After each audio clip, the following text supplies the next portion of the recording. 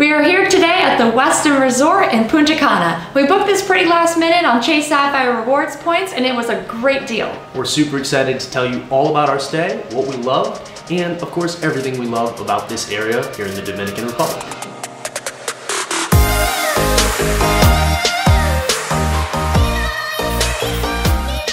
Welcome back to the channel. If you're new here, I'm Max. I'm Marin. And we're Voyager Guru. We post weekly videos with travel tips, hotel reviews, and videos from some of our favorite destinations around the world. So if you don't already, consider subscribing.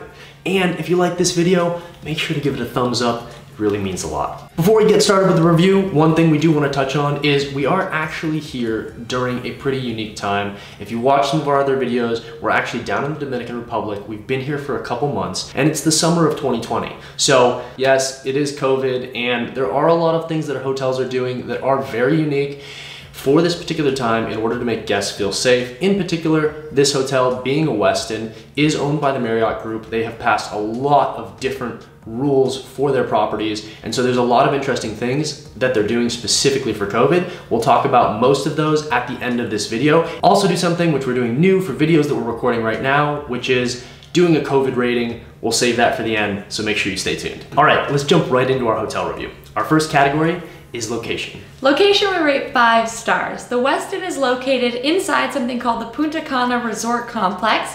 It's literally right next to the airport, and if you're one of the lucky ones who flies through a private jet, it's actually inside this complex. Yeah, it's actually kind of crazy. When you get out of the Punta Cana airport, there's a roundabout just as you pull out. You go around the roundabout, and basically the entrance to this gated community is directly on the other side. So it's about as close as you could possibly get to any airport anywhere. And so for that reason, we find that it's a super convenient location. It's located inside the Punta Cana Resort Complex with a number of other hotels, residences, and other things. And because of this, we actually are, have a huge advantage over the sargassum seaweed that does take over this area. There's a gigantic floating barrier uh, surrounding all of the complex, so it keeps a lot of that seaweed out, which I cannot say for a lot of the other resorts in the area. Now what we will say about the Punta Cana area, if you have watched some of our other videos, there are a few of these gated communities. The other major one is Cap Cana. A number of our other resorts, which you can check up here in the top corner, we've linked, are in the Cap Cana area. Similar to that, they also have managed to unify together as a community and be able to keep out that sargassum seaweed, at least significantly more than some of the areas that are outside of any of those communities. And so it is definitely something to consider if you're booking a trip down here, what area you're gonna be in, and being part of one of those gated communities is actually really important. Yeah, and you get the white sand beaches, the beautiful flat water. It's absolutely a dream. One of the things a lot of people don't realize about the Dominican Republic is how diverse it is. And down here in Punta Cana, they have those perfect white sand beaches, just like you'd find in the Maldives or Virgin Gorda with that insanely blue water. It is really, truly picturesque, and it's exactly what a lot of people are looking for when they're looking to book these type of tropical vacations. Our second category is lobby and check-in. Lobby and check-in we rate four stars. The Westin is a beachfront hotel and the lobby's beautiful. It overlooks the property and you can see the sea in the background. Very open air and it has a really beautifully designed tropical feel to it. In addition, for COVID-19 precautions, they put up plexiglass around the check-in stand so it does give you a nice safe feeling when talking to the person on the other side. We checked in really early and the hotel is not very full right now, so we were able to get our room early. The bar that's located inside the lobby was kind enough to make us some delicious juice beverages while we were waiting for the room keys. So it was a really nice experience. One thing that they did cover at check-in that's super cool about this area, inside this grouping of hotels in the complex of the Punta Cana Resort, they do have this amazing ecological park where they have natural pools and hikes and you can walk all throughout we actually didn't have the opportunity to do it while we were here because we're only here for two days. We're actually working while we're down here as well, so it was kind of in and out. We're super excited to come back down here to check that out. Our third category is rooms. Rooms we rate four stars. We're in a premium room with an ocean view, and due to COVID-19, they are trying not to accommodate people on the higher floors, so we are located on the first floor, which is typically not my preference because you do have a less of an ocean view than you would on a higher floor. However, these rooms are very nice. They're quite a bit more spacious than the traditional rooms. They have a walk-in closet, a much larger bathroom, and a beautiful king bed with a heavenly bed. I will say about the ground floor units as well, they do have a chaise lounge on the balcony, which other rooms on the higher floors do not because you naturally have a slightly larger patio area. Overall, your room is pretty nice. It's what you get with a standard Westin. So if you've stayed in a Westin before and that's why you're looking at this video, which chances are it is, it's a very comfortable bed. They've got a nice big closet, a big comfortable bathroom. I will say one thing that was interesting in the bathroom, I think the lighting could have been improved where the shower was. It feels like there might be some lighting that's missing. I don't know if that's just unique to our room, but it was definitely on the darker side. And as with all Westins, you get the heavenly bed, you get the White Tea Aloe products, it's all the same across most Westins around the world, and this one's no different. They do have some pretty cool decor that's in the room that does make it a little bit more unique. They've put some coral up on the wall, they've used a lot of blue accents, and that matches the blue accents that they put on the outside of the building, so that does tie it together back to some of the beachy feeling. Not quite the same thing as some of these corporate hotels where it does feel like if you draw the blinds, you could really be anywhere. They have brought some of that unique beach style here, and we do really appreciate that. Our fourth category is service. Service we rate three stars. As much as we'd love to give them five stars and as much as we've been pretty kind across the board during the COVID times, service has been on the more mediocre side to be honest. Yeah, certainly the biggest issue in service that we found was with food and beverage. They are incredibly slow, not very well trained, and I think it really comes down to an issue with management. We're not sure whether there's been a lot of turnover for the Westin in particular during COVID-19, so we are giving a little bit of leeway there, but it is certainly something that we think in general this property needs to work on particularly when they're running at such a low occupancy, it should be something that, like some of the other hotels, which you can check right here in the upper corner, have had amazing service while we've been down here because there's so few people in the hotel. So that was something that was a little bit disappointing. Yeah, and we called the front desk to ask for a couple of items. They came so fast, and we're really excited about that high level of service from the front desk particularly when you're calling or using the WhatsApp texting line. However, when it came to food and beverage, it just really went downhill very fast. The good news is you don't have to eat at the property. There are a number of restaurants within the complex, so it is possible that dinner service elsewhere is a bit better. Yeah, and we'll talk about it later in facilities, but you can also take out a bike for free, ride around the complex area, and go to some of those other restaurants at night. Housekeeping does come during your stay, even during COVID. They send you an email before arrival, which I really appreciate. It was very detailed. You could also request items in the room that are typically in the room outside of COVID, like a coffee machine and robes, and they do ask that you request those things uh, in advance so they can clean them and put them in your room before your stay. One of those things was requesting housekeeping. You can request it every day, every other day, but after four days, they do require a housekeeper in the room. So keep that in mind if you're coming for a week and you prefer not to have anyone in the room. Our fifth category is dining.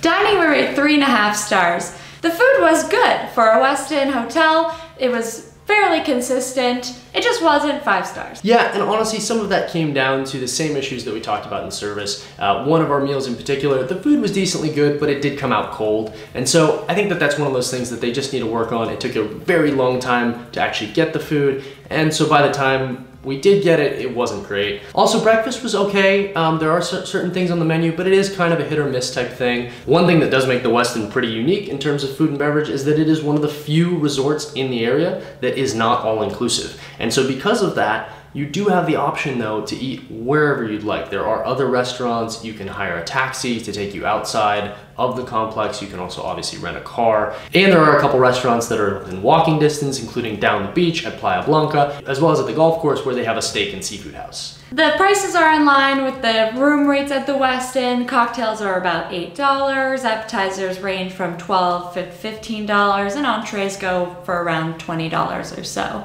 However, the food I did not feel really matched the prices considering uh, the all-inclusives in the area have significantly better value. With that said, the cocktails were fabulous yes. and that is something that is definitely one of their strong suits. Our sixth category is facilities. Facilities we rate four and a half star. The Westin has everything and the complex really does have everything as well. There's a Six Senses spa if you're familiar with that brand. They do have a spa inside the complex and the prices are actually very reasonable for that type of spa. They have a beautiful pool area, beach service where they serve you lunch and cocktails, and they really have everything you need for a great vacation. Yeah, and there's also a lot of cool, unique features of being in this area. Like we mentioned before, they have the ecological preserve where you're able to go on nature hikes and swim in the natural pools. They also have bikes which you're able to take out. The bikes are free. And there's a lot of really nice things on this property. There's obviously also your standard nice things that you're gonna get at a Westin. They have a nice gym, they have a beautiful big pool, and they also do have some water activities. The water activities are for a charge, so taking out a paddleboard costs about $25 an hour, so do keep that in mind if you're budgeting for your trip. If you are interested in windsurfing or kite surfing, this is actually an area that you can do it. Now the winds are far less consistent than other places in the Dominican,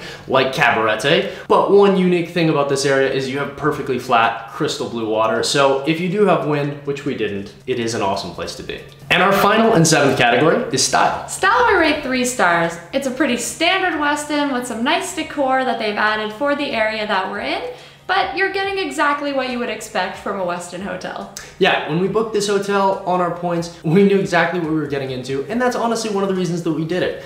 During COVID times, everything's a little bit uncertain, and so for us, we really liked the certainty of knowing that we were gonna have a, beautiful, comfortable room with a nice clean property and a beautiful beach, and have that kind of standard Westin experience. I wish they put some cushions on the chairs in the restaurants and on the patio in the room. They are a little bit hard, but maybe that's something they do in regular times. Overall, we rate this property 3.9 stars. It's exactly what we needed and what we wanted for our quick getaway for these two days. As we mentioned at the beginning of the video, we did book this on our Chase Sapphire Reserve points. So if you'd like to learn more about the Chase Sapphire Reserve, it is not sponsored. We do not work in any capacity with Chase or the Chase Sapphire Reserve, but as travel bloggers, it is one of our number one cards. And so in the link in the description below, we've added we've added a couple articles specifically about that card and why we like it so much for travel because there's really no other card that's going to get you the same amount of points and the same amount of return on travel spend or to be able to use for travel as that card.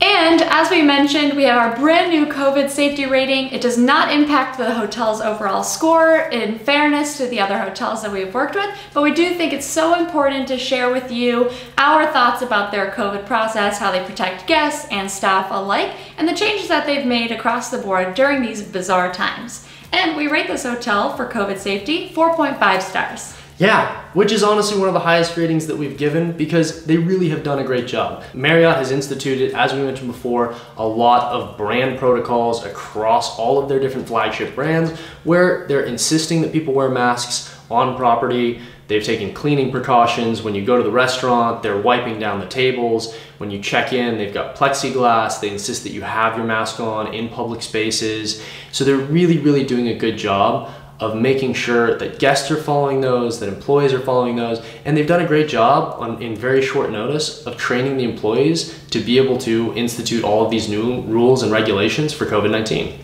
There are only a few minor things that were inconsistent, but it just comes down to, I think, training around these brand new protocols across the hotel. But overall, they've done a really great job. They sanitize your luggage when you come in, there's clear entry and exit pathways so that guests don't run into each other, um, and the hotel is at a very low occupancy. And if you're wondering, is that something that we're just saying because we're being nice? we're not working with Marriott, we're not working with the Westin, we did book this on points, and we have also stayed at a couple hotels down here, which one of which we stayed for less than a night. We actually checked in and checked immediately out because we were just too afraid to stay there. So we are coming from a place of understanding exactly what travelers are looking for during these trips. And if you're looking to travel during COVID-19, we do think that this is a very safe option. And while Marriott does require masks in public spaces, one thing we will please urge you to do is always wear your mask in public spaces regardless of the hotel that you choose on your trip. It is so important to keep the staff and other guests safe as well as protect yourself from others. All right, that wraps up our video. If you like this video, make sure to give it a thumbs up. It really means a lot. And of course, if you haven't hit that subscribe button yet, it's right there. Hit that subscribe button. It's not that hard. Look, it's like, it's just, it's right there. And of course, check out our photos on Instagram from our entire trip from the Dominican Republic at Voyager Guru. Go check out our blog at voyagerguru.com. There we have full destination guides for the Dominican Republic, all of the written reviews of our hotels, and of course links to all of the other things that we've been working on, all the places that we're traveling, and all of our upcoming plans. So, as always, I'm Marin. And I'm Max. And we're Voyager Guru. See you out there.